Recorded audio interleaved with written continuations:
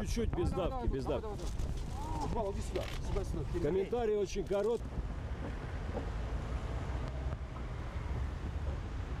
Это дело пыточное, позорное.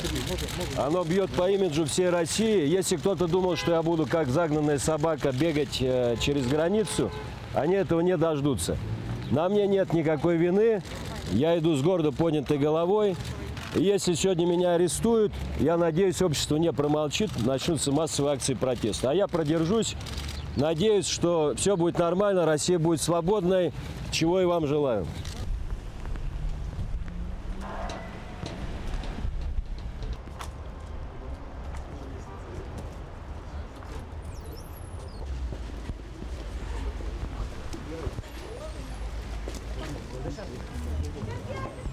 А еще раз, Мы победим.